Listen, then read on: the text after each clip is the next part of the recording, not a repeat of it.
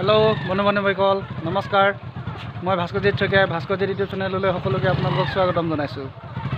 আজি মই এখন কুকুৰা ফাৰ্ম আপোনালোকক দেখুৱাম এটা ব্যতিক্ৰমী ভিডিঅ' কেনেকুৱা পালে ভিডিঅ'টো চাই আপোনালোকে জনাব কমেণ্টত। বলক আমি কুকুৰা ফাৰ্মখন চাওঁ। ঠাণ্ডা দিনত সাধাৰণতে কুকুৰাবিলাকৰ কি বেমাৰ দেখাই বেছি দিয়ে মানে? তেনেকৈ ঠাণ্ডা দিনততো ক'বলৈ গ'লে সমস্ত বেমাৰবোৰ ঠাণ্ডা দিনতে হয় বাৰু। অঁ প্ৰধানকৈ কোনটো বেমাৰ দেখা পোৱা যায়? এক নম্বৰ বেমাৰটো হ'ল আমাৰ ৰাণীখেত বুলি কয় যিটো। সেইটোৱে এক নম্বৰ। যিটো জোপোকা মাৰি থকাটো অঁ জোপোকা মাৰি থাকিব। তেনেকুৱাই আৰু। তাৰ মানে ভাল কৰা পদ্ধতি কেনেকুৱা ধৰণৰ আছে বাৰু? কেনেধৰণে ভাল কৰিব পৰা যায়? ভাল কিবা মেডিচিন আছে নেকি? ভাল কৰিব পৰা পদ্ধতি বুলি ক'লেতো প্ৰথমতে ভেকচিন মেইন আহিব। প্ৰথমতে এইটো দিব লাগিব জন্ম ছদিনৰ পৰা সাত দিনৰ ভিতৰত। সেই বেমাৰটো ৰোধ কৰিবৰ কাৰণে। প্ৰতিৰোধ কৰিবৰ কাৰণে। আকৌ তেতিয়া দিব লাগিব তাৰপিছত পোন্ধৰ দিনত এটা দিব লাগিব গামৰো বুলি। যিটো মানে ফাউল পক্সৰ ভেকচিন। অঁ যিটো ছদিনত দিয়া হ'ব তাৰমানে সেইটো আকৌ চেঞ্জ কৰি কিনে পোন্ধৰ দিনত আকৌ বেলেগ এটা দিয়া হ'ব। অঁ বেলেগ এটা আকৌ একৈছ দিনতহে একেটাকে দিব লাগিব। লাচুতা বুলি কয় একচুৱেলিটো লাচুতা ওৱান আৰু লাচুতা টু একৈছ দিনত যিটো দিব লাগে। অঁ। সেইকেইটা দিলে সাধাৰণতে মানে ডাঙৰ হ'লে যেতিয়া আমি দেখা পাওঁ বেমাৰটো। তেতিয়া মানে কি হয় ভেকচিনকেইটা দিলে বাকী যদি বেমাৰ হয় তেতিয়াহ'লে মানে মেডিচিনে কাম কৰিব আৰু। এইকেইটা বেমাৰ ভেকচিনে মেইন সেইকাৰণে ভেকচিনে দিব লাগিব আৰু। অঁ ইয়াৰ উপৰিও আৰু বিশেষকৈ কি বেমাৰ দেখা পোৱা যায় বেছিকৈ? এইটো যিটো ডায়েৰিয়া আহিব অঁ। তোমাৰ আৰু কেতিয়াবা পেটৰ কিবা কিবি প্ৰব্লেম হয় আৰু। অঁ। সাধাৰণতে মানে কি হ'ল যিবিলাক কৃষক কুকুৰা পালন কৰি আছে কুকুৰা ফাৰ্মত বেছিকৈ দেখা দিয়ে যে কি লেট্ৰিনটো মানে সিহঁতৰ বগা পৰি যায় ধৰি লওক ঢিলা হৈ যায় কিছুমান টান হৈ কিনে লাগি থাকে। এইটো কিবা উপায় আছে নেকি? ভাল কৰা উপায় পদ্ধতি? লেট্ৰিন ঢিলা টান ক'বলৈতো তেনেকুৱা বগা আধা বগা আধা হেৰি সেনেকৈতো হাগে। আৰু। বেলেগ যদি হেৰি হয় তেতিয়াহ'লে আছে কিছুমান।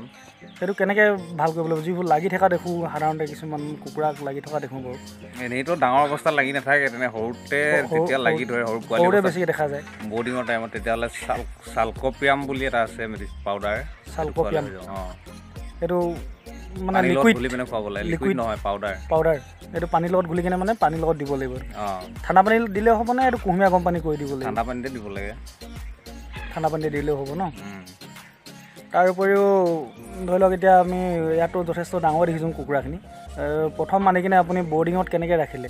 কেনেকৈ বৰ্ডিং কৰি ৰাখিলে? বৰ্ডিঙত এইটো হ'ল ছিজন লৈ কথা ঠাণ্ডা দিনত অলপ বেছি দিন ৰাখিব লাগে গৰম দিনত সাধাৰণতে পোন্ধৰ দিন ৰাখিলে হয়। বৰ্ডিঙত মানে বৰ্ডিং মানে হ'ল কি টেম্পাৰেচাৰটো কম হ'ব নালাগে বা থাৰ্টি ফাইভ ডিগ্ৰী থাকিব লাগে তাতকৈ লাহে লাহে কমাই আনিব লাগে এইটোকে কয় বৰ্ডিং। বৰ্ডিং। তাতকৈ বেছি কৰিব নালাগিব আৰু। ঠাণ্ডা দিন ঠাণ্ডা দিনত বিশেষকৈ এইটো। ঠাণ্ডা দিন গৰম দিন নহয় চব টাইমত একেটাই লাগিব টেম্পাৰেচাৰ তাত থাৰ্টি ফাইভৰ পৰা মানে লাহে লাহে কমাই কমাই আনিব লাগিব। আচলতে কি হ'ল কণীৰ পৰা যেতিয়া পোৱালি ওলাই থাৰ্টি ছেভেনত ওলায়তো অঁ।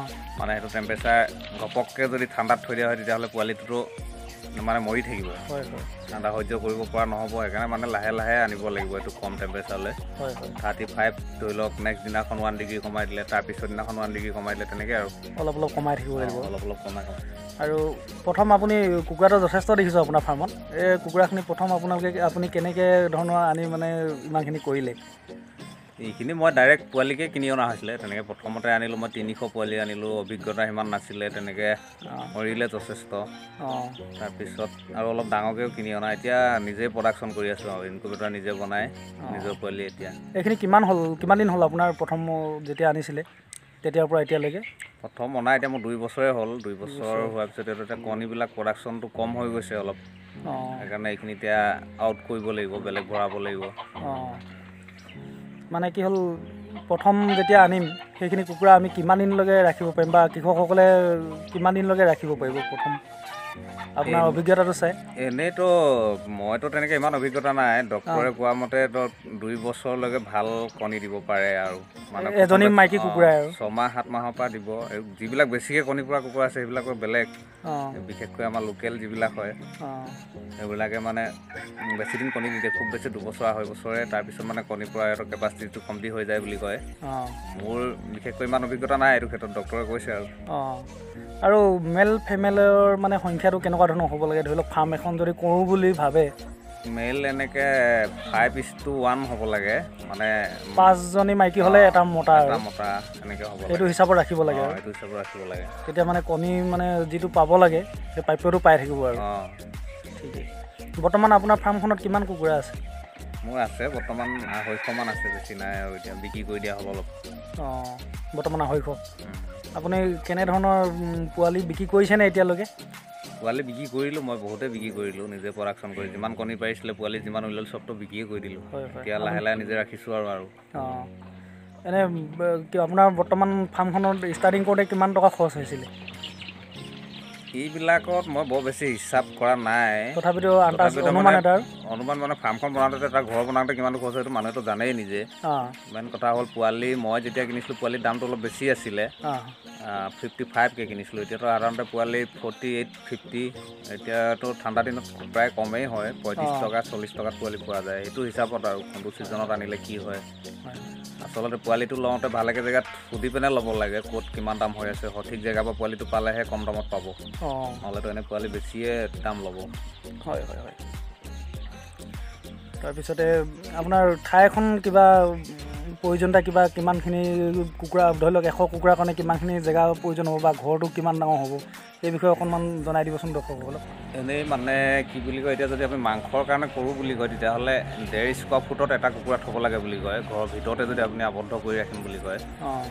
যদি অলপ বহলকৈ ৰাখোঁ বুলি কয় তেতিয়াহ'লে আপোনাৰ কথা আৰু। এনেই বাহিৰৰ যদি মুকলি ঠাই। মুকলি ঠাইত ঘূৰিব পালে ঘাঁহ চাহবিলাক খাব পাব তেতিয়া মানে দানাটো অলপ কম খাব আৰু। দানা বাচিব নিজৰ কথা আৰু মানে কি হ'ল এতিয়া বেমাৰৰ ক্ষেত্ৰত মানে পোনে অনাৰ পৰা মানে প্ৰতিপালন কৰি থাকিব লাগিব বেমাৰৰ ক্ষেত্ৰত মানে অভিজ্ঞজনৰ পৰা এইখিনি অভিজ্ঞতা লৈ কেনে বা অকণমান জানি বুজি লৈ এইখিনি কৰাটো মানে ভাল হ'ব। এখন কুকুৰা ফাৰ্ম যদি নতুনকৈ কৰোঁ বুলি ভাবে। নতুনকৈ আৰম্ভ কৰোঁ বুলি ক'লে কাৰোবাৰ ফাৰ্মাৰৰ পৰা পোৱালি ল'ব লাগে। বিশেষকৈ দোকানৰ পৰা নলৈ যদি আপুনি কোনোবা ফাৰ্ম কৰি আছে আজিকালি যিবিলাকে ফাৰ্মাৰ কৰিছে চবে নিজে ইনকুবেটাৰ লগাইছে না। হয় হয় হয়। তাৰ পৰা যদি আপুনি পোৱালি লয় তেখেতে ভালকৈ শিকাই দিব পাৰিব। বা আমাৰ পৰাই যদি লয় এতিয়া আমি ভালকৈ এইটো কথাটো কৈ দিব পৰা যাব কেনেকৈ কেনেকৈ কি কৰিব ফোনত যেতিয়া থাকিব। আপুনি এখন দোকানৰ পৰা ল'লে হয়তো দোকানীজনৰ অভিজ্ঞতা নাথাকিব পাৰে। দোকানীজনে অকল কাষ্টমাৰ ল'বৰ কাৰণে অকল পোৱালিটো বিক্ৰী কৰে। হয় হয় হয়। সেইটো ক্ষেত্ৰত মানে কি হ'ল ফাৰ্মাৰৰ পৰা লোৱাটো বেছি উপযোগী বুলি ক'ব বিচাৰে আপুনি? ফাৰ্মাৰৰ পৰা লোৱাটো বেছি উপযোগী বুলি ভাবোঁ আপুনি বৰ্তমানলৈকে কিমান টকা উপাৰ্জন কৰিলে? অনুমানিক? আপোনাৰ ফাৰ্মখনৰ পৰা? এতিয়া মই ক'ব নোৱাৰিছোঁ এইবিলাক হিচাপ মই প্ৰায় নাৰাখোৱেই। ক'বলৈ গ'লে লছ হোৱা নাই। মুঠতে লাভতে আছে আৰু। লাভত আছোঁ আৰু। কোনোবাই যদি কৰোঁ বুলি ভাবে আপোনাক যদি কি নহওক এতিয়া মই আৰম্ভ কৰিছোঁহে এতিয়া মই লাভতে আছোঁ বুলি ক'ব পাৰোঁ আৰু মই তেনেকৈ হিচাপ কৰা নাই আৰু ইমান। মানে কি হ'ল বৰ্তমান নোৱাৰিলোঁ ভৱিষ্যতে আপুনি কিবা যদি কোনোবাই যদি বিচাৰে ধৰি লওক কোনোবা আগ্ৰহী কৃষক আছে তেওঁলোকে যদি বিচাৰে পোৱালি হওক বা কণী হওক তেনেকৈ দিব পৰা যাব নেকি আপোনাৰ পৰা? অঁ দিব পৰা যাব তেনেকৈ মোক কণ্টেক্ট কৰিলেই হ'ল। আপোনাৰ কণ্টেক্ট নাম্বাৰটো দি দিলে ভাল হ'ব। কণ্টেক্ট নাম্বাৰ ইউটিউবতে কমেণ্ট কৰিব তেতিয়া হ'ব। সিয়ে মোক কণ্টেক্ট কৰি দিব। ঠিক আছে ঠিক আছে। আজি যথেষ্টখিনি কথা জানিলোঁ বন্ধুসকল। আৰু ইমানখিনি কথা পাতি আপোনালোকে কি পালে কি নাপালে কমেণ্টত জনাব। কিবা যদি জানিবলগীয়া থাকে আগন্তুক ভিডিঅ'ত আপোনালোকক নিশ্চয় এইখিনি সহায় কৰা হ'ব। আজিলৈ আহিছোঁ ধন্যবাদ। নমস্কাৰ। নমস্কাৰ।